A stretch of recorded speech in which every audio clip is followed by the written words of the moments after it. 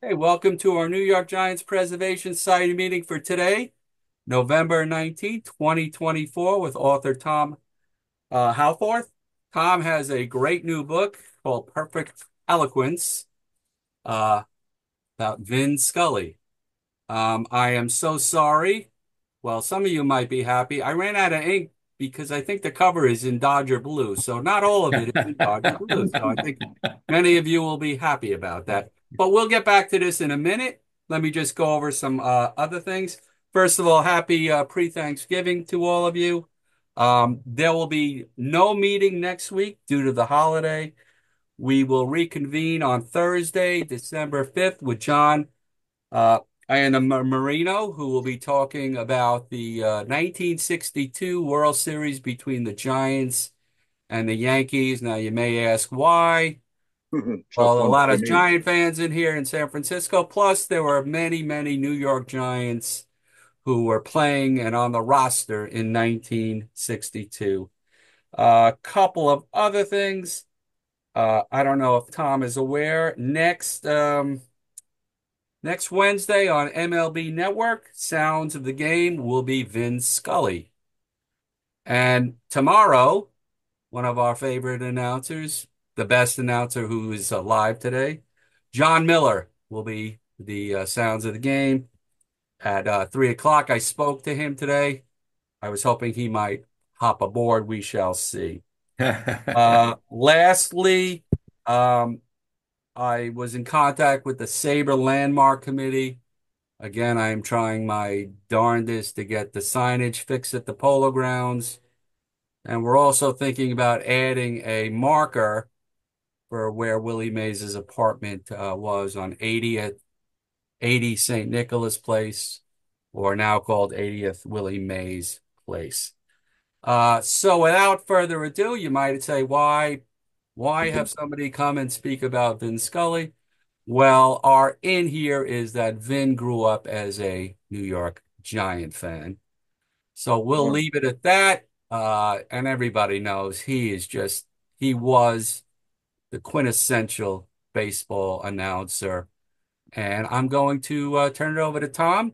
Tom, welcome to the New York Giants Preservation Site. Everybody, Tom. I'm impressed. I'm impressed with your size and greatness.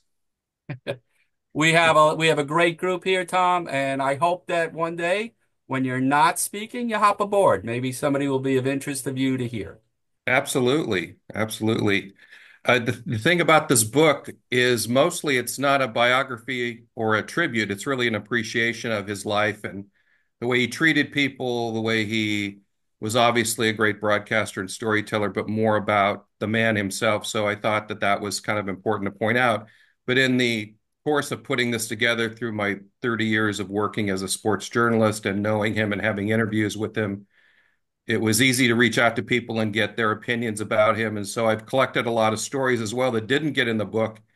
And I found a few in particular that I think you guys would be interested in, the, based on the Dodger Giant rivalry and again, his connection with Willie Mays, who probably made his weekend during his last uh, three broadcasts at uh, in San Francisco where Willie joined him in the booth, and they have a plaque up there now. And just this great picture of Vin taking Willie's hand and kind of putting it over the lettering so he could understand what the plaque was all about. So those two are really tied together in history.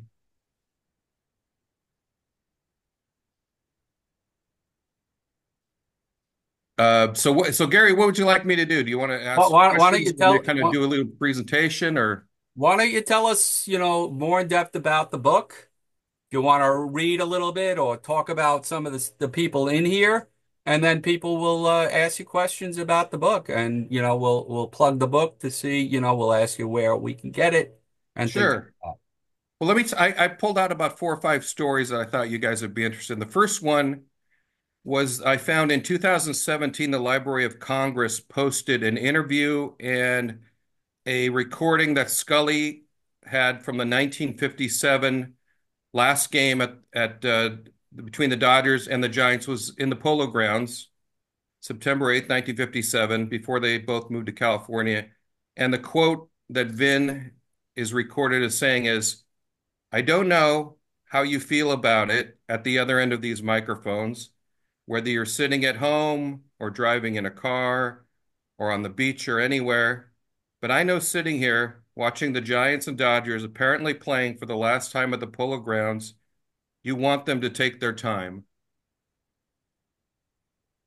And even he understood the gravity of the the the situation and the fact that these two teams were being taken to a whole new place and and so many fans were just didn't want it to end. So I thought that was pretty poignant.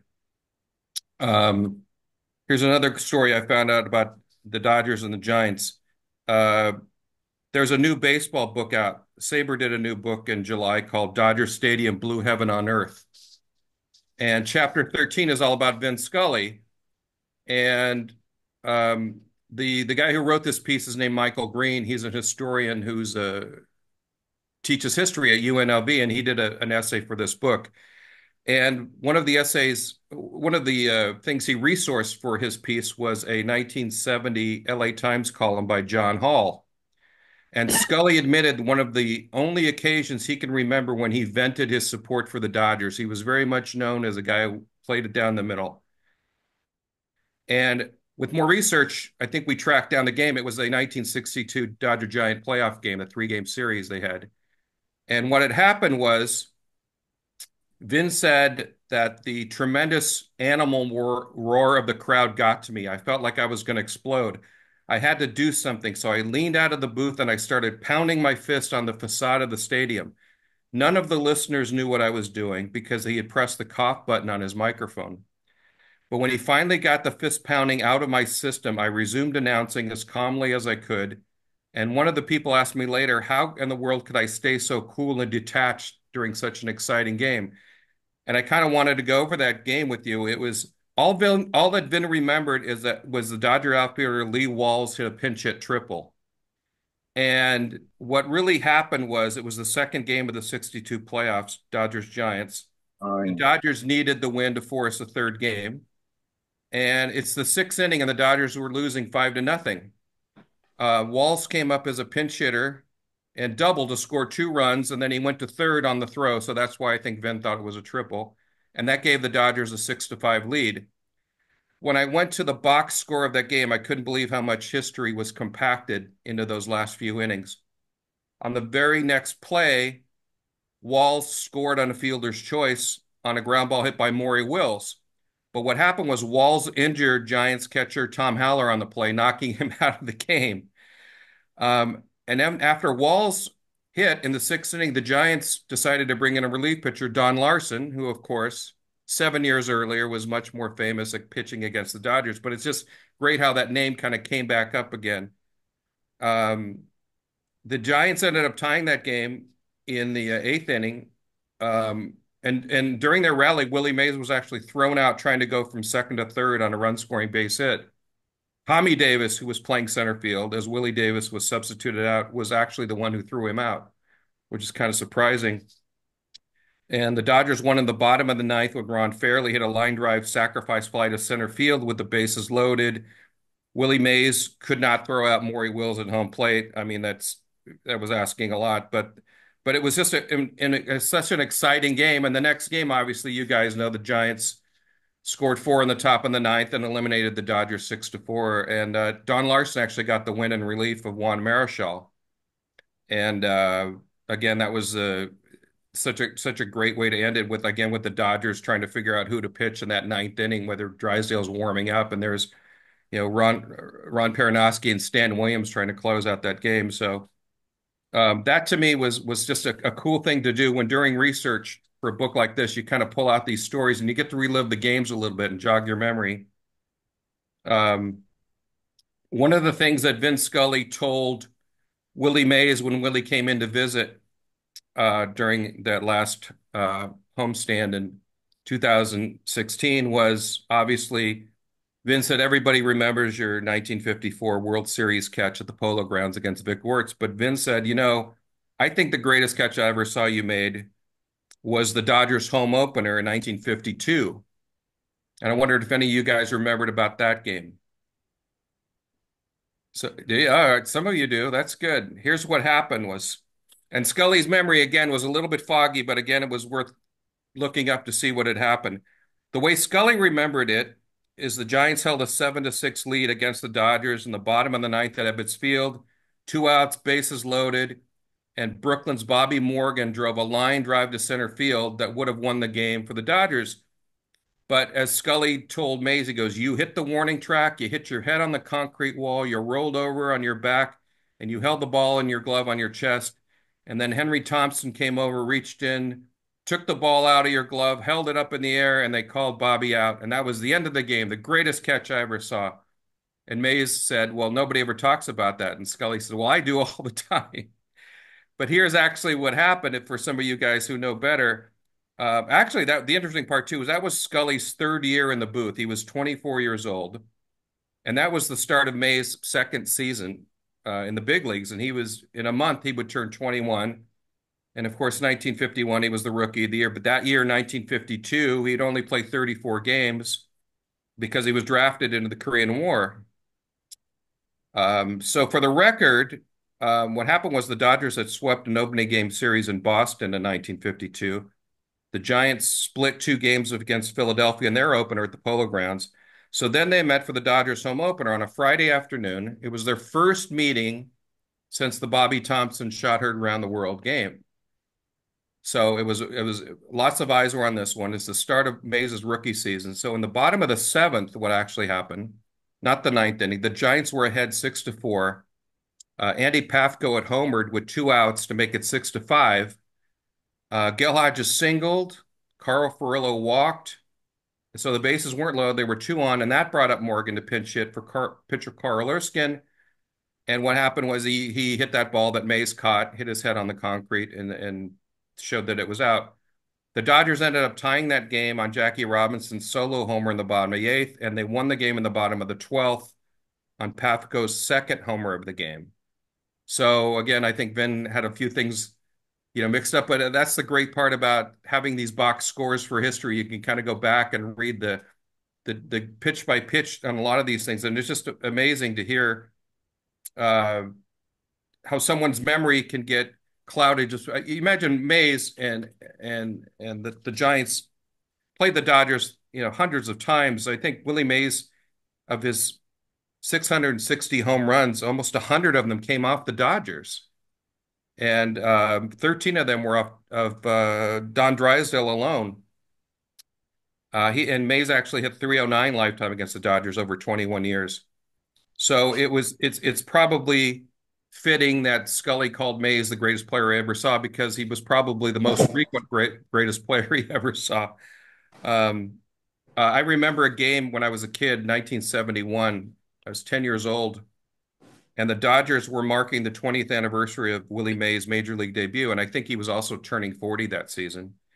And they had this big display at home plate with 20 cakes celebrate his 20th year. And I was a kid, and I could not believe how the Dodgers would treat someone like Willie Mays or like anybody from the Giants, let alone Willie Mays, to this such a celebration. And again, what I found out was going to happen was uh, Mays had actually in that series tied Stan Musial's record for most uh, career runs scored. And if he was if he was to break that record, uh, the Dodgers had planned to dig up home plate for them at Dodger Stadium and give it to him as a gift. But what happened was um, Don Sutton held Mays hitless in four at bats in the series finale, so he never got to break the record there. So he had to do it later. Um, but anyway, those are kind of the stories that I, I really thought was interesting to tie the two together. And um, I tried to track down as many different people for this book to get their stories about Vin Scully. I was lucky enough to get Bob Costas and Al Michaels, Peter O'Malley, the Dodger owner. Um, I didn't get. Um, uh, I'm, I'm blanking on his name. The uh, oh, I thought I would see it here the writer who did the uh, the Willie Mays book recently from San Francisco. John Shea. Yeah, John Shea. John was great in giving me a good blurb for the book, and um, so all in all, I think it, it, came together really nice, and it pays a nice appreciation for Vin. And I know that I, it'd be great to hear Jon Miller do a few of his Vin lines because they're so so great. Um, but you guys all have heard them before, and I think you can imagine that. And I think uh, one of the things that Vin loved is to laugh at himself. He didn't take himself too seriously. So anything like that, I think he kind of appreciated. So I think I think you know um, you'll have a lot of questions now. sure. Um, first of all, I love the title of the book because he spoke so well. And if you were to have a chapter with me in it, my appreciation, I just loved listening to him without a color man. He was just fabulous. There was no shtick like Yep. most of these guys have today. He was storytelling, he spoke great, and he really, look, he loved the Dodgers, but he really did not act as a homer. He really didn't. Uh, No, that's and that that's and that my kind of take from yeah, it. that set a standard almost for every broadcaster who was in Los Angeles. You you couldn't if you were kind of strayed from that, you were called a homer, which Chick Hearn might have been with the Lakers calling games, but being taught at the uh, at the at the knee of Red Barber, he was kind of uh, uh, learned how to be a reporter more than just a, a broadcaster and an announcer, and and I think that sort of made him more credible, so that when he told a story, when he had an opinion, it was more believable instead of somebody who was just so caught up in the language. And the language itself was something very important to him, uh, growing up in Fordham and having this ta- th this class was actually called Perfect Eloquence, was the name of a broadcasting class at Fordham, which kind of implies the the structure that they felt was important for a broadcaster to have. Let the game, let the players tell the story instead of you be the story, Right. which is a, the essence of a credible journalist. So I think all that sort of comes together, and it's it's when he passed away a couple years ago. I think uh, we all sort of took a pause and wondered how we could put together words that showed our appreciation. That I think that was the intent of the book. So I hope that comes across as well as all the important milestones in his career. Hey, How how Tom how and long? How Tom and long? Gary, Um, Gary. yeah. Yeah, it's Jim Woods. Hey Jim, how are you? Hey, I'm great. Uh, I, I just wanted to intercede here because before I lose it, uh, first of all, uh, Tom, I introduced you to Gary. Uh, I heard you at the Jonathan Club. Thank You You were fantastic. And I knew that this was going to be a perfect pairing because Gary is the effervescent, effervescent Giants fan, and he's written a fabulous book too. I think everybody on the phone has has probably read it, and it, and you should read it too. It is exceptionally good. But having said all that, my wife and I, I'm a basically a Northern California guy, lifelong Giants fan, but for family reasons moved to SoCal. And I was I'm a member of the Jonathan Club, and I attended your presentation. And one of the first games we went to uh, recently was the Giants Dodgers game on uh, June 22nd. And as we're sitting down uh, behind home plate, we saw a video on the screen of Vince. Uh, I don't know if you saw that game. It was the quintessential class act of the Dodgers honoring Mays, honoring the Giants, and in celebration of his life, they gave about a three to five minute video of Vince talking about Willie Mays and the greatest catch, not the catch that we all remember, but a catch that he thought was the greatest catch, which was different than the over the shoulder one. And it went on, and then the two teams lined up on the sidelines. And I said, My God, this is what baseball is all about. This is absolutely fantastic. And I I give great credit to the Dodgers for doing that, uh, honoring you know our hero uh, Willie Mays. So, on behalf of the Dodgers, thank you, and uh, and I love your book too. Thank Hey you. Jim, Yeah, Jim. like you said, that presentation, that tribute to Mays was almost 50 years after the one I saw at the stadium while he was still a player. So they had such a, a great respect for each Yeah. other. They made they made each other better.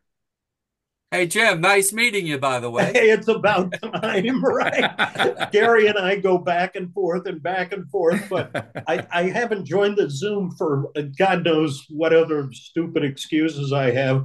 Uh, this is fantastic, and I hope to participate more often. But I don't want to hog the limelight. Just uh, uh, others, I'm sure, have plenty to say. Thank you, Jim. Uh, Tom, I just had a couple of quick quick ones. How long did the book take, and why did you choose him? Well, I'd known him for so long as a as a sports reporter. I, my beat was the sports and the media, so I'd known him since 1992 was the first time I sat down with him to talk about things, and I couldn't believe what a gentleman he was and all the time that he gave me. And I grew up in Los Angeles, so the first 30 years of my life was just growing up thinking of him as another part of the family. So when uh, when he passed away, I thought I had all these interviews and pictures and things collected, and I just wanted to kind of pull them all together. Um, so the book took not that long to pull together. Um, and by the time I reached the June 2023 deadline for it, um, I realized I had 67 essays pulled together. I swear I did not plan on that at all. And the fact that it matched up with the number of seasons he did, I thought was pretty pretty much karma. I think there was a greater power kind of steering this together. So that a book takes about a year to come out, and so that's uh, it, it just came out this past May, and it's been great ever since. And two other real quick ones. Yep. Vin or Vince?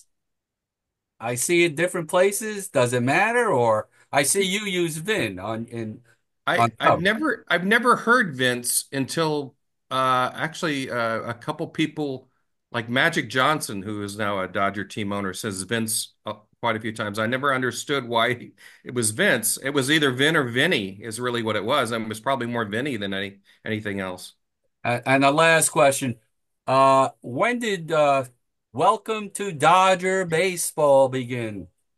I think that just came once while he was doing a an opening to a game, and it just kind of stuck. He just kind of liked the way it sounded, probably in the 70s or 80s. And I think that when you go to games now at Dodger Stadium, you hear his voice. It's kind of like Walt Disney's recorded voice at Disneyland. It kind of, welcome to the ballpark. Here's the rules. Here's Fanby, and it's like it's just walking back in time when you come in there. So it's a I the the other thing I, I think is interesting about Vin is he became so relatable and so trustworthy that he became uh, a, a product pitch man for so many things, which is what Jon Miller loves to imitate him for Farmer John Dodger dogs and things. Yeah. And I grew up, uh, everybody in Los Angeles grew up thinking Farmer John Dodger dogs were just the best thing ever, even though we didn't know any better. But that it just led to, to Union Oil gasoline and everything became something that was if you banked on Vin to, to promote your product, I think you, you couldn't have a better spokesperson. Wonderful. Uh, Joe Joe Margolin, do you, do you want to say something? Unmute Joe, you first.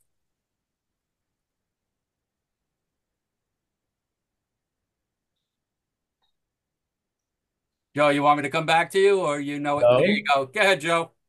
No, I'm just I'm just sitting, enjoying what I'm hearing, and uh, every every time one of these guys is and gals speak, uh, I go back to it. an earlier time. don't don't don't get too sentimental, Joe. no, I understand where I am, Garen. I'm happy I have the machine here to protect me. I know that these are basically vicious people, and uh, went after my childhood heroes with everything they could. So, uh, what is what is your best remembrance of Vin Scully? Vin Scully? I just thought, I, every memory, listening to him all the time. In those days, Gary had things called, they were radios. I don't know if you've ever heard of a radio. and uh, we had our imagination. And uh, Vin Scully took care of it. I actually was lucky. I, I, I, I went to a lot of Dodger games as a kid. And uh, I spent a lot of time at Ebbets Field. I didn't go to the polo grounds because my parents did have standards. Uh, so that all right, you might have to be muted now because you know you start. You start. oh no, no, these guys know they have an advantage. I, I resent that remark. and I and I'm happy they resent it because at least they know that some of us are still alive. Uh, in, in, any case, uh, it was a major part. I was Dodger baseball with the Giants. Now, of course, uh, I signed, I guess, many petitions saying that the Giants should not be allowed in the major leagues. But uh, the fact of the matter is, I thought Willie Mays, I thought Willie Mays was the greatest player ever. Thank you, Joe. Yep. Mars, you're up. Uh, thanks for joining us. That was that was great to hear stories about Vin Scully. He might have been born Vincent, but uh, I have a question and a couple of comments. Uh, in in perhaps his Vin Scully's memoirs, did he ever um, truly convert to a Dodger fan after growing up as a Giant fan and Mel Ott was his favorite player? I, I don't think so. And and the, the interesting thing I found out about him too was he was a much bigger football fan than a baseball fan.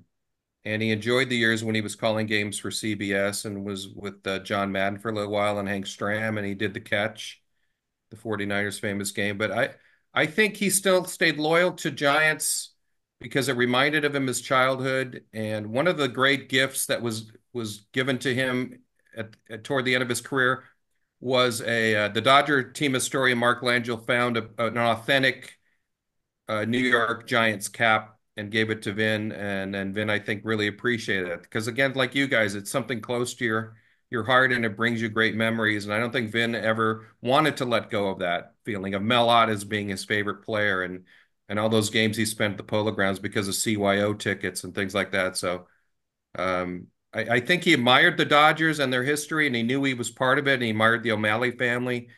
But I think uh, down deep down, he still was a Giants he, because of the fact that he saw that uh, that as a kid saw the Giants losing that game in the World Series and felt sorry for them and really had empathy for them, and that really was started his connection. Oh wow!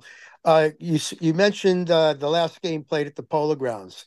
That was on my tenth birthday, and I was at that game. wow! The the other game you mentioned was the great catch in 1952 at Ebbets Field. Right. Uh, I I don't remember if, if Carl Erskine pitched that game or he mentioned that when we had him as a guest. But from what I heard, the description of the catch was he went all the way down close to the left field line and made the catch horizontally. Uh, that that's that's uh, and it might have bumped into the concrete wall and all that. Uh, wow. But that's what I heard about the that uh, this description, and uh, off of uh, I guess Morgan Bobby Morgan hit the ball, um, and let's see what I have. Uh, well, I guess that that was it. That just Erskine. Erskine actually pitched seven innings of relief in that game. And, and I think that line drive that Mays caught was off of Erskine. I th- yeah, I think so. Yeah. Thank you very much. Sure. Hey, Tom, just for your edification, we had Carl Erskine do a Zoom with us about the Giant Dodger rivalry. Wow. 96 people showed up. Oh, that's great. So that's I'm not great. disparaging you. As we have a great crowd in here, just so you're aware. Howard Manis, you are up. How you doing, Tom? Great, Howard. Good. Uh, I think all of us have seen at least once, probably many times, the Gibson home run in the World Series, where uh, Scully went absolutely crazy. I can't believe it. I just saw whatever it was. So I would probably guess off the top of my head, not knowing, not being a Dodger fan, not being in LA, that must have been one of the greatest uh, broadcast moments he's ever had. Uh, now I happened to be at the Buckner game, the '86 World Series, so I missed the broadcast. I'm glad I missed it. I'd rather been at the stadium. Uh, that had to be. I would say he probably ranked that way up there too. Uh, maybe you would agree with me. Uh, I was just wondering, out of curiosity, how do you think he would have reacted to Freddie Freeman's home run uh, against the Yankees? I'm, I'm, trying to imagine it had to be something like uh, the Gibson thing, more so than the Buckner thing. Uh, so my question is really just an opinion. How do you think he would have called that? And were there other, any other great moments, maybe number three behind Gibson and Buckner, uh, that he did during his career? Well, the great part about the the Freeman home run grand slam was that Joe Davis was on the call, and Joe, being the Dodgers broadcaster, later admitted that he'd sort of channeled Vin for that call by just saying "she is gone" when he when he saw the ball leave the p- field, and then kind of referenced Gibson as well. And uh, and the interesting part too that you mentioned is Joe Buck also made the great call of that Gibson home run on radio, and and Joe Buck is actually the one who said, "I don't believe what I just saw," while Vin was the one who just said, "And in the ear of the that was Jack Buck." Jack Buck. I'm sorry, Jack. Yeah, Joe Jack. Uh, yeah. yeah. but anyway, Jack had made that call on radio, and it's still kind of a it's just two great broadcasters on two different mediums made that call. Um, I actually think Vin's greatest call, and and I think he thought he was the most proud of it, and I think even Jon Miller has said this as well, was Hank Aaron's 715th home run in Atlanta. Just so happened the Dodgers were playing the Braves that night.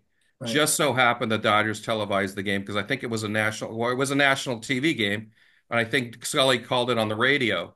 So he was able to just uh, uh, describe the play, but then put that marvelous caption about about how how great it is a black man in the South is yeah. has achieved this accomplishment, and I think that just still gives me goosebumps when I hear that. Maybe he had that prepared, but you know what? He just said it so eloquently and and such a perfect moment. So when when a play like the Buckner ground ball goes through and he's basically describing what's happening, but you hear it coming from his soul. He's so surprised at what's happening. That's why I think it resonates.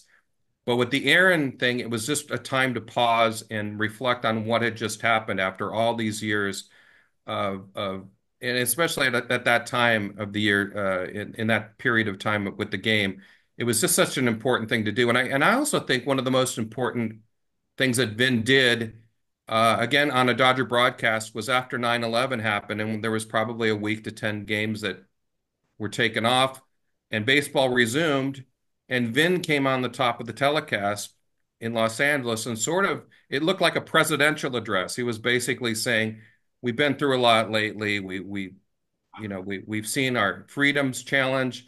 We've seen a lot of of emotional times, and now it's we're going to try to play baseball again. And that, to me, that was just another sort of moment where he's the perfect guy to kind of bring everybody back and put perspective on things. And so, uh, the the more of those kind of moments that happen, I mean, he's he'll, he'll he's called you know 20 no hitters and perfect games and all sorts of things, but it's moments like that that really you sort of look at and you remember as that was a, a really pivotal point in in our country's history, and he was kind of there to help set the table for it.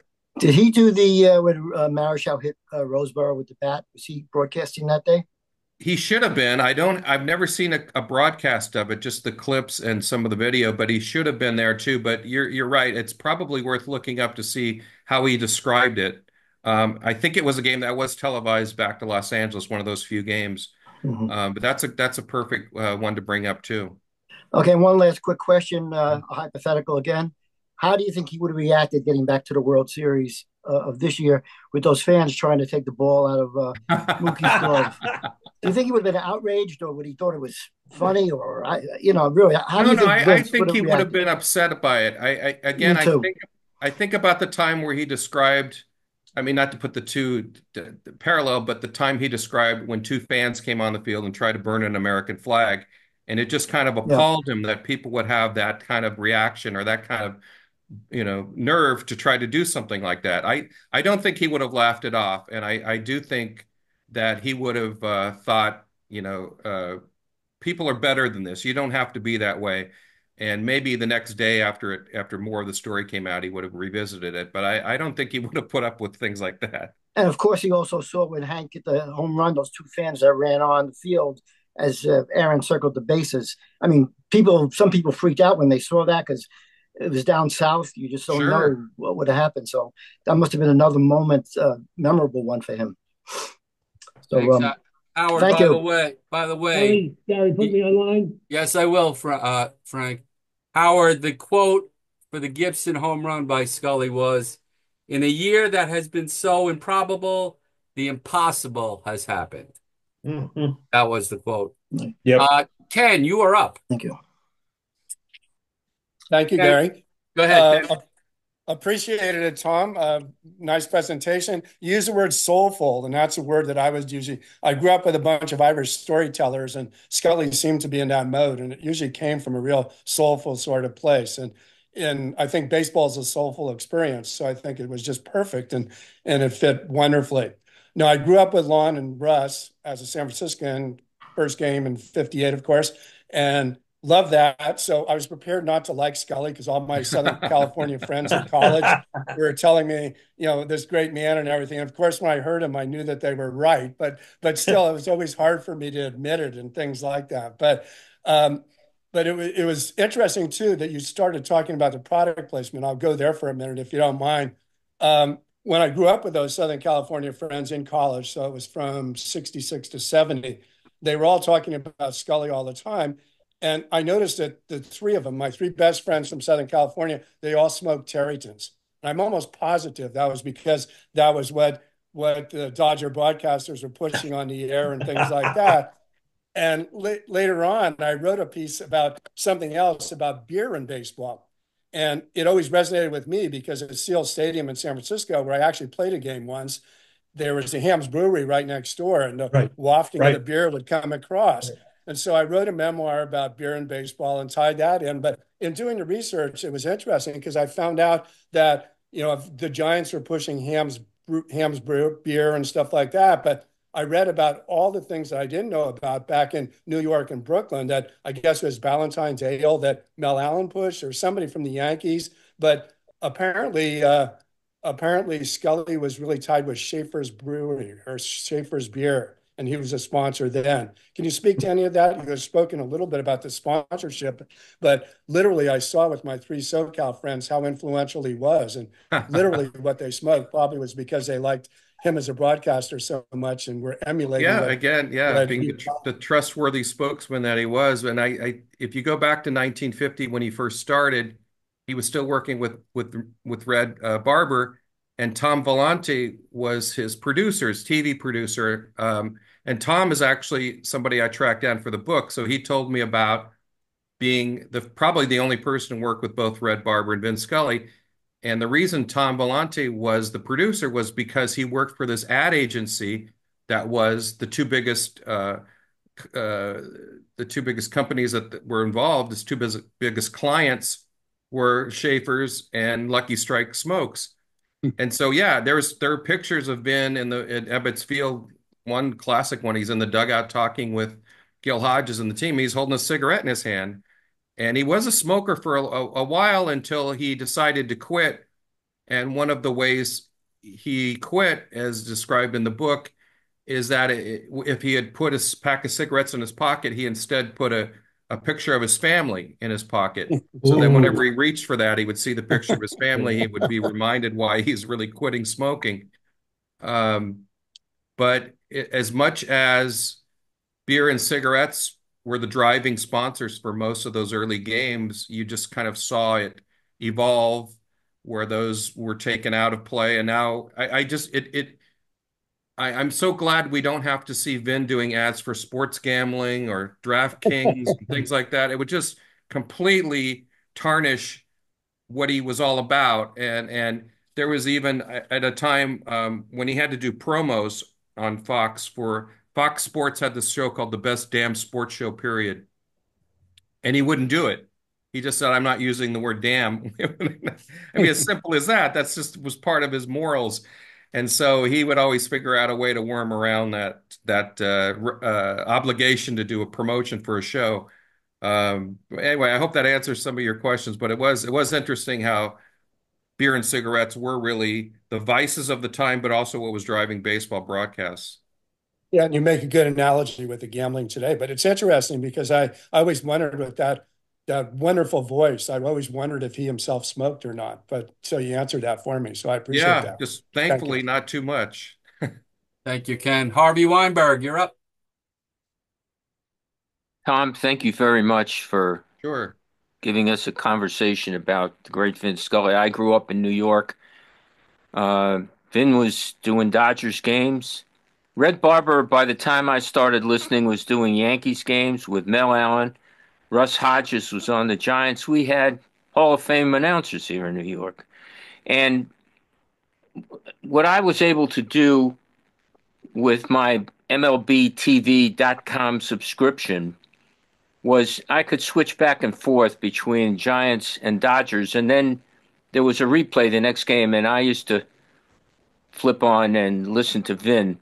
And he had a, uh, I think it was in the fifth inning, where he would do he would come on the screen and he would give a discussion and he would harken back to the days in New York, in Brooklyn in New York.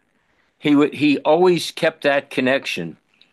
Um, I also seem to recall when he retired and he did his last game from whatever the name of the Giants ballpark is, and he was in the the booth. He he turned to the and then Willie was in the booth and Jon and all the Giant announcers were there, and Vince said, "Well, now that I'm retired, I can revert to my one childhood love, the Giants. I'm going to root for the Giants." I don't know if he really did that, but it was a wonderful coda on on his day uh, at the ballpark that day. By the way, Gary, I hate to correct you, but he doesn't say the, the recording is he doesn't say welcome. He says it's time for Dodgers baseball. You're right. And and he's got this lilt to his his voice. Um, I just want to dwell a little bit on the, on his call of Hank Aaron's home run. That is a whether he I I didn't even think that he wrote it in advance. It's funny that Tom you opine that he might have written that out in advance, but it, it is it is a great commentary. It hit the it hit the the point right on the head. I think the line is I didn't look it up for this, but the line is a black man is getting a standing ovation in the deep south. And and that was 1974 if I'm not mistaken. 74. And um, that's uh, 50 years ago, if my arithmetic is correct. Um, and that was a, a, a, that was well, we were still in troubled times, but that was a very troubled time. Um, Vin Scully uh, would not do, uh, and Bob Costas, I I don't think is doing. Uh, I mean, he's just retired, but I don't think he did gambling uh, website commercials. No, and I don't think Vin would have done it either. Um, thank you very much, and um, Harvey, thank you for Harvey, thank you for correcting. That was. Well, I'm sorry, Mr. Mintz. I hope you won't send me to detention. I should, send myself, I should send myself to detention. I also, I also, it, it, just reminded me. I wanted to bring up in that uh, Ernie Harwell. Ernie Harwell was a Dodger broadcaster um, from 19. Can't remember when he came, but he, he was there till 1949, and he left to do the New York Giants and the Dodgers brought Scully in then. And I asked Ernie once what would have happened if he had stayed with the Dodgers and Scully would have taken that Giants opening. Imagine Scully doing the Giants from the start. And Ernie thought that was a pretty cool thing to think about because Harwell, what, he wasn't sure if he would have gone to LA with the Dodgers, but he he thought Vin was was good enough and young enough, and uh, he was not married until he you know moved to LA. But uh, there was that chance that uh, that Vin had a had could have taken that Giants opening in 1950. Hmm. Hey, Dave Lippman, you're up.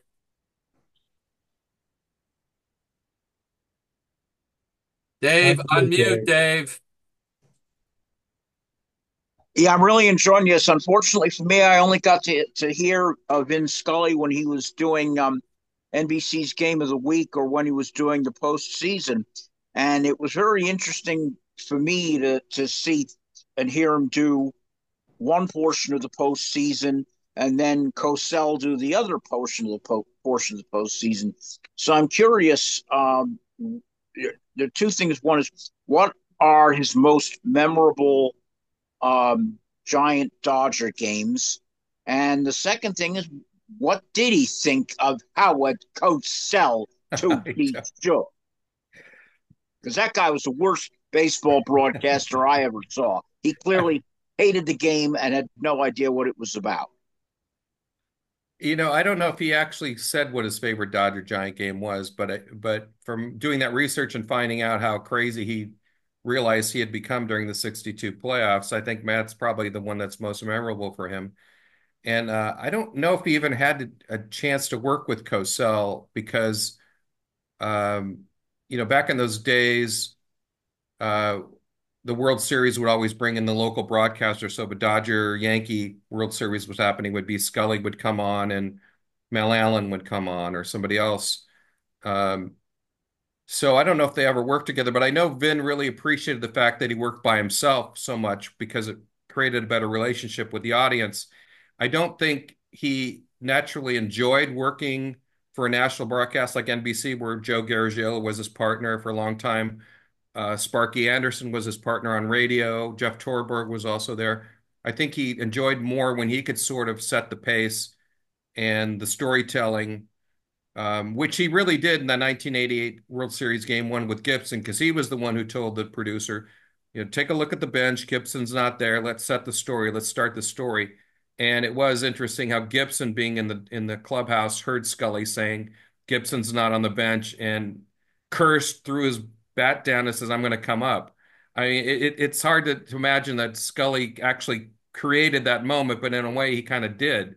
And even with Joe Garagiola there as his broadcast partner, he still had the presence of mind to sort of know that this was a big part of the story, and whether he could sort of be part of it or not was remained to be seen. And it turned out that he did you know, Red Barber really disliked both Garagiola and Rizzuto working with them. He thought that, uh, you know, Garagiola was just making jokes the whole time, was just a dumb guy, and Rizzuto, uh, you know, wasn't watching the game, as we all know. I was just wondering if uh, uh, also if, if uh, Vin had any thoughts on those guys, and also what was his advice to somebody who wanted to be a, a, a baseball broadcaster? I mean, what would he say to them about you know this is how you learn to do it?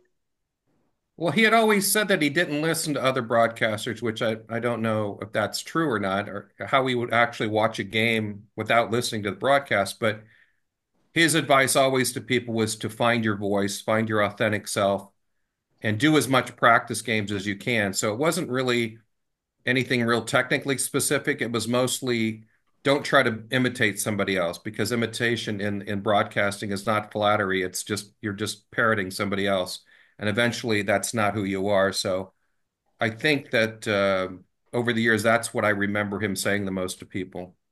Interesting. Thank you very, very, very, very, very much, Lee. Sure, sure. Thank you, Dave. We're going to go Frank, Paul, Greg, and Bill Klink. Frank, you're up. Uh, first, uh, I want to thank uh, Tom for that great presentation. But um, I was at the 1952 opening game between the Giants and the Dodgers at Ebbets Field. Um, and among the things that happened was that rookie Giant pitcher, Hoyt Wilhelm, got a home run on his first at bat and never got one again. um, and now, what happened to prior Dodger announcers? Of course, Red Barber went with the Yankees, but Connie Desmond, Jerry Doggett, and others I can't forget. And I have one other topic, although not not part of not a topic of your book. Nowadays, who listens to radio broadcasts of baseball and other sporting events? Why is it? Why would anybody want to pay to advertise on it? And is it profitable for the radio stations? Uh, well, I listen to radio uh, broadcasts all the time. Yeah. But how many people nowadays do? Uh, oh, you, when you can't get to a television, you listen to the radio. Yeah, but how much is there of those people? Don't know. Well, it's easier to listen to the car when you're stuck in traffic in Los Angeles, that's for sure. yeah, what about the prior Dodger announcers? Uh, Vin also Vin Vin was very good friends with Jerry Doggett, Ross Porter, Don Drysdale was a very popular broadcaster in Los Angeles too. But none of them would would work together with Vin on the air. It was always one or the other on television, which was kind of not playing into Vin's strength because he was such a great radio broadcaster. So what happened a lot in Los Angeles was they would do a simulcast of the first three innings where Vin would basically be talking too much for radio or too much for television and not enough for radio. But still, people, if you could get Vin, that was fine. You could take whatever you can get. So he kind of changed the medium in a lot of ways in in how the Dodgers parceled off the the innings during the games. But you also wanted him at the beginning to tell the stories and at the end to describe the the the climax. And in the middle, they kind of left it to other people. So uh, whatever, however much you could get Vin on whatever the biggest platform was, that's how it worked out. Thank you, Frank. Thank you. Paul, you're up. Tom, thank you so much. What a great job today. Um, I just have, I have two questions. One is, uh, one is, did Vin Scully have a favorite announcer that he really loved, you know, in terms of doing baseball? And the other question is, when doing your work, were you able to get access or find the 1952 call that Vin did on Willie's catch in that 52 game where he uh, hit his head on the concrete? Um, I don't know the answers to either one of those, but um, in the midst of doing the research for the book, I think if I was doing more of a biography, I really would have worked harder to find those answers. Sure. But, Okay. but it was more of a of a case of I was collecting essays and trying to get people's Right. memories. But those are great points to make. I mean, I would love to see if those things even exist. Um, and I don't Mhm. remember who. There wasn't very many broadcasters doing sports of, of of great importance when he was growing up as a kid. So it was Right. Yeah. it, it was basically two or just two or three guys. So you know he kind of took things to the next level with with Red Right. Barber as his guide. Or, or the other question might be, is there, was there a broadcaster, a fellow broadcaster that he truly admired? That might be another I, I think one of if well, I'll look at it this way. When he passed away, there was only about a hundred people invited to his funeral, and uh, one of them was Thom Brennaman. So maybe that was he. Maybe. I think he enjoyed him as a friend and a broadcaster. Sure. Okay. Thank you, Tom. Sure. Thank, thank you, Paul. Greg, you were up. Hi, Tom. I really enjoyed that presentation. Um, Vin's Vin's story about seeing Sandy Koufax the first time is really is a really good story, and his calls of Sandy Koufax's games are, are classic. Um, Vin and Vin and Sandy seem to really like each other. How were you? Did you were you able to work any of Sandy Koufax's stories into your book? Well, I tried to contact him through different people, and he's um, you know, pretty private person, and it's hard to get him on a good day or a bad day. So I I just kind of took what I could from him. But I know uh, there's been a couple books done on Sandy and and talking about relationships with different people. But I think the interesting thing to me was when I was collecting essays, uh, Bob Costas wanted to point out that when he was a kid, he got this book and included Vin's call of Koufax's perfect game in 1965, and it reads like a poem almost the way it, it it's transcribed. And Costas was struck about what great writing that was, and then didn't realize till later that that was actually taken from a live description. So I, it's interesting too. In Los Angeles, people think that Sandy Koufax might be the greatest sports athlete in the city's history, but I think without Vin Scully, that might not be the case because Vin really created Sandy Koufax in a lot of ways in describing his games, but also putting some sort of awe involved in it.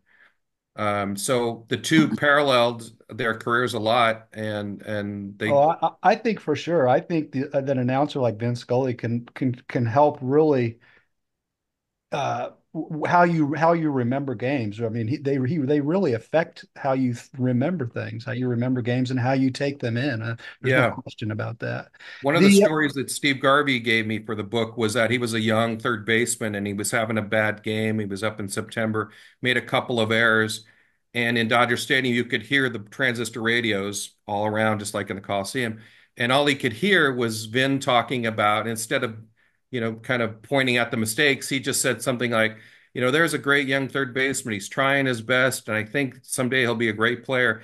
And Steve basically said, Mr. Scully kind of saved my career from being, you know, turned on by the fans who might have thought that this was just some rookie who was who was heading for nowhere. But uh, Vin had that kind of power in in informing the fans, but also the players could hear all that too. But yeah. he didn't make it to the Senate. Thank you, Tom. I real thanks, Tom. I really Oh, enjoyed sure. it. Thanks. Bill Clink, you're up. Hey, Tom, I uh, appreciate talking to you. I think uh, Gary had reached out to you. I have one of my best friends now passed away, uh, was Ed Hoffarth. Uh, you're not related, I understand. Uh, he's a, he's a. Buffalo Hoffarth. Uh, they're all Buffalo Hoffarths, all. But a great guy, and and you you're uh, you you do the name the family's name well. I, I hold you both in high esteem. I wanted to go back to the the, the flagship stations for uh, the Dodgers. And I don't remember the first two years. It was a it was what I'd call a local station. It it just broadcast in the area. But I think in 1960 they made the decision to go with KFI and Earle C. Anthony Company. You'll remember that from the broadcast. And and of course that went all the way up and down the West Coast. It was a north-south beacon, and they were 50,000 watts. And so you you but they didn't go east west. It, it wasn't like KMOX back in St. Louis. They went north south. But you know, all over the West Coast, there were people like me in the Bay Area who Uh, otherwise really would have never heard Vin, but we heard him. Do did he have any did he have any influence or was there any talk, do you know, with him and the Dodgers over, hey, I'm on this local station uh, in in LA in 58 and 59 and and you know, not many people are hearing me, but th when they went to KFI, everybody heard him. Did, was there any talk of that? well, the great story about that is the first two years in Los Angeles, they were on KMPC Yeah. 710, and that was a station that was owned by Gene Autry. And at the time, Gene Autry was trying to get his own Major League Baseball team, and he loved having the Dodgers as the flagship team for his station. And the story is that Walter O'Malley had a house up in Lake Arrowhead, up in the mountains, and he couldn't hear the games from his from his house up there. And so he was the one who said, "We're getting off this station. Sorry, Gene." And as kind of kind of as a consolation, they said, "Oh, by the way, we've got this American League team. We're looking for an ownership. Hank Greenberg fell out. He was going to do it, and uh, and so they gave the the team to Autry, who put the Angels on the station. But that was it was all a, a Walter O'Malley decision to get off the station. Yeah.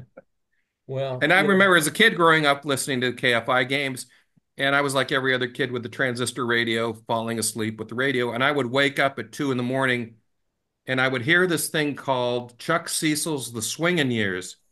And that was the thing that started at midnight. And so I was waking up to swing music all the time, and I couldn't understand why this was. And that was just what was on KFI overnight. Yeah. So those are it, it's odd memories that you have of baseball, but I'll still remember the Dodgers and swing music. Yeah. I what I remember, and I have only one personal memory of Vin Scully, and I mean, you know, this is called face to face Vin Scully. Um, I'm, and Gary will back me up on this. I'm never at a loss for words. That was one time I was totally at a loss for words. Somehow I got on the Dodgers elevator at Dodger Stadium. I'm sure that's off limits to everybody now, but Not really, an not really. Yeah. not really. No, Mid 80s. Yeah. You know, I got on the elevator. There's one guy on the elevator. It's Vin Scully. I mean, all the questions I could have asked him, all, I was I was totally speechless. Humana, humana, humana, right? And, and all I said was, I, I hope you have a, a wonderful evening, Mr. Scully. Not Vin, not Vin, Mr. Scully. Um, so that that's my my my story on that. Game two of the playoffs, I rushed home to watch that on TV uh, in in the Bay Area, and and I certainly remember it. I didn't remember a lot of uh, uh, well, obviously not knowing about Vin and you know him taking out his his emotions on the side of the wall there. Uh, but uh, I, I didn't remember about Tom Haller being knocked out, and I guess that's why Bailey w- was in that game, and I guess game and eh, eh, Bailey caught game three as well. They they were lefty catchers. I never could understand the Giants. You know what? They have not lefty righty catchers. They got two left-handed catchers, hitting catchers. I I don't know. They they they they liked them both. But what I like, and I have to show all the Giants fans, I have to show you. I don't know how close you can see it there. Th- I got this for Christmas 1962 from my Wow. mother. And this is the uh, Chronicle, uh, the headline and the Chronicle from the day after they won the uh, the uh, playoffs. And and of course it reads, Giants win miracle. Incredible four-run ninth brings flag the candlestick. It it it it went above the uh, uh, above the headline on perfect flight. Wally Schirra got pushed down, obviously, in the San Francisco papers that day. But Thank you. I, I've had this that long, and I'll have it until the day I die. Thank you, my mother. Thank you very much. Thanks for putting up You with know, us. the great thing too about Vin, when when he would meet people and he they he could understand they would be sort of in, overwhelmed by the situation. He was usually one to put them at ease, and that was always the way that people remember the, their encounters with him, where he would just say, "What kind of day you having? What what do you Yeah, I think's think going to happen tonight?" nice And that was really that was just so nice of him. Yeah. Tom, do you have time for a few more? Absolutely. Thank you. Wonderful. Norm Coleman and then Ed. Norm? Tom, th- thank you so much. This has been a great, a great session. Thank you so much. Um, the funny thing for me is I had a couple of things I wanted to bring up. One was KFI and one Hmm. was the perfect game call. And I didn't raise my hand until right before Greg spoke. Because no one had brought either of those things up because I think the perfect game call is his greatest call because of obviously unscripted. And it, as you said, it was poetry. It was beautiful. And KFI um, in the 60s, the Dodger games were very important to the Giants, you know. And so we could get KFI up here in San Francisco at night. And so we listened to, to Vin call the games. And the funny thing is, someone talked about Vince and Vin in the 60s. I always knew of him to be Vince. No kidding. It wasn't until the 70s when all of a sudden he, he turned into Vin. Um, I could be wrong about that, but that's the way I always thought it was. He was Yeah. Vince Scully. Um, I do have one short um, Vince story, and that is at the Giants games on Sundays, they have the kids run the bases after the ball games. And so on those days, fans can stay in the ballpark longer. And so um, I'm watching the kids run the bases, but at the same time, where I sit, I can see in the Dodgers broadcast booth. And the entire time, I'm fixated on Vin Scully because I'm waiting for him to end his broadcast and leave. Because when he leaves, I know where he's going to be walking out. And so I waited, saw him leave, went and met him at the door where he'd come out. So I wanted his autograph. And he was the ultimate, consummate gentleman, um, including thanking me for asking him for his autograph. Right. right. Um, it was a wonderful, wonderful experience. But to take it one step further, so that's a Sunday. The following Saturday, I walked up to Lon Simmons and said, Excuse me, may I have your autograph? And he said, You must be mistaking me for Vin Scully. to, to which I said, No, I got Vin's autograph earlier this week, and this is far more exciting. Only because I, I love Vince, I love Lon Simmons. But back to perfect game. Here comes, I'm cleaning up to my question now. Back to perfect game call. There is a very terrible movie called For Love of the Game. And the only thing to me that makes that movie worth watching is Vin Scully calling Billy Chapel's perfect game. As a matter of fact, I one time cut the movie up into pieces that just had him calling the game. Because in my opinion, his calling of that perfect game is the greatest part of baseball movies ever. Yeah. It was just so perfect. And it So- wasn't scripted. That was just him talking. He he was given some clips and that's he said, "Just let me wing it." And he did. That's what I wanted to know. I wanted to know Yeah. your insight onto that. In fact, it, it Brent Shyer, who wrote an essay for the book, was the technical advisor on the movie because he was with the Dodgers then and, and went with Vin. And the funny part to me was that they paired Vin with Steve Lyons as a color man in the movie, and Steve basically says nothing. And he knows he knows better to say nothing. He's just there as a as a because people are used to seeing two guys in a booth, but it's all Vin's language, and it's all Vin first take and to to come up with the words, you know, and and that's cathedral like Yankee Stadium, Billy Chapman. It's like, who else could make you? A writer couldn't write that. It's it's all because of Vin putting those thoughts together.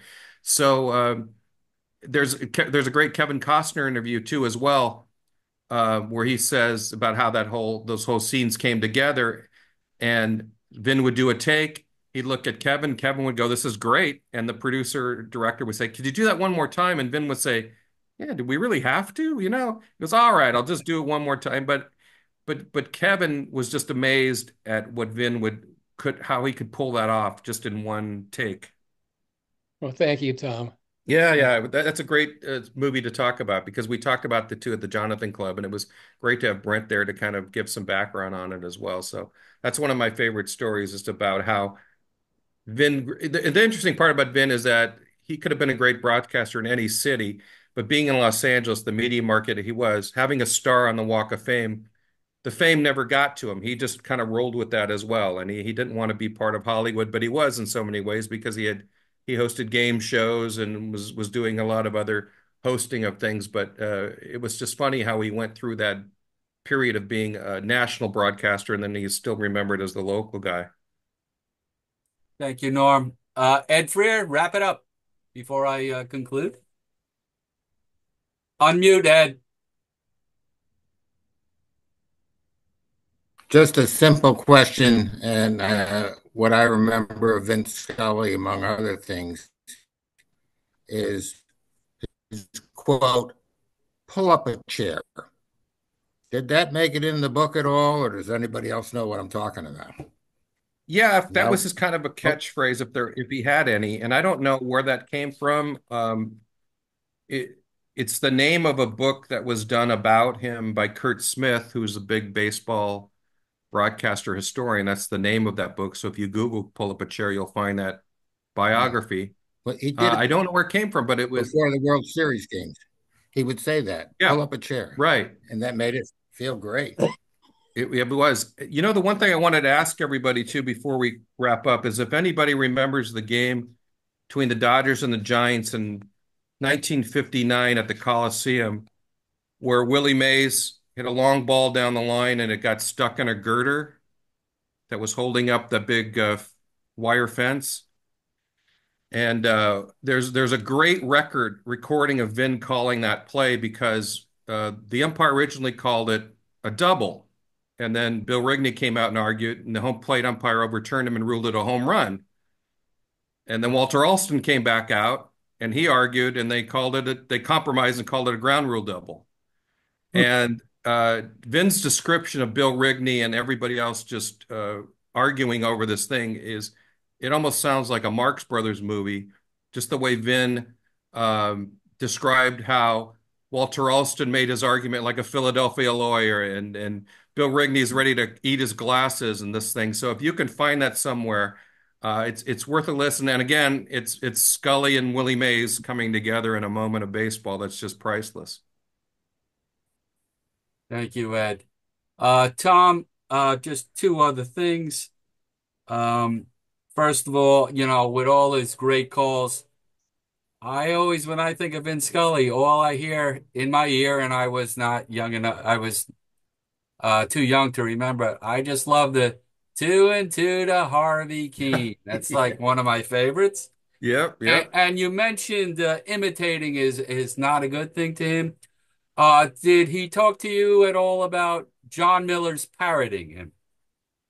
No, I, I don't know if I ever asked him about it, but I bet if you found it, an interview that he did with it, I'm sure he was fine with it and he probably had a good laugh at it because you you in that case that is that is uh Vin never took himself so seriously that he couldn't have a good laugh about that. And Jon, man, nobody did it better than Jon. Uh, let's all give it up for uh, Tom Hoffarth. Just incredible.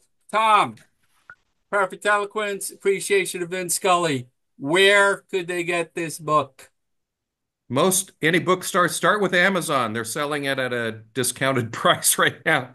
It's still on the Amazon top 10 of baseball books, but that's a place to start. Any bookstore. Just bookstore. bought two copies while we were meeting. Oh, God bless you. And i- i- is is this supposed to be Dodger Blue, the, the cover? It's a diff it's a somewhat Dodger blue. Yeah, here's a here's a better look at it. But uh yeah, I also want to thank uh, James Wood for steering me into tonight. I'm Tom. I'm very glad we uh, got to hook up. Did a great job tonight. Everybody thoroughly enjoyed this. That I can tell you. And please do not uh, don't be a stranger. Okay. Uh, as Vin would say, thank you to the New York Giants Marching and Chowder Society. And you and you could also see that despite most of us being Giant fans, we do admire greatness, and there was nobody better than him. Oh, and, and there's nobody today better I'd rather listen to than the giant the giant guys, Krukow and and and Tom just Miller's fabulous. Yeah. Yes. Yeah. But anyway, we will uh we will reconvene on the December 5th. Everybody have a great uh Thanksgiving, healthy and happy. Uh I'm going to shut off the recording. If anybody, anybody wants to talk giant baseball, we'll hang out for a little bit. Have a great night, everybody. Be well. Thanks, Gary. Thank you, Tom.